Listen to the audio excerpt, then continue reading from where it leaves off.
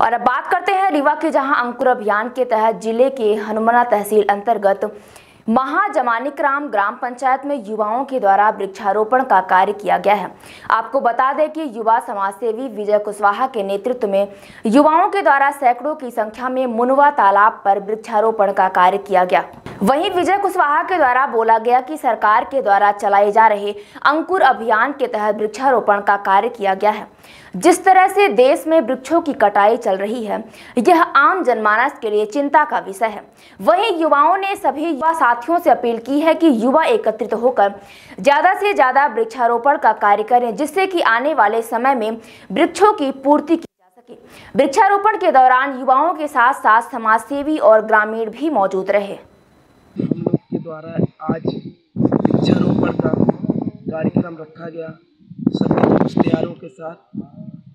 Total कितने वृक्ष लगाए? टोटल हमने 21 वृक्ष लगाने की कोशिश किया हूँ और लगा रहा हूँ।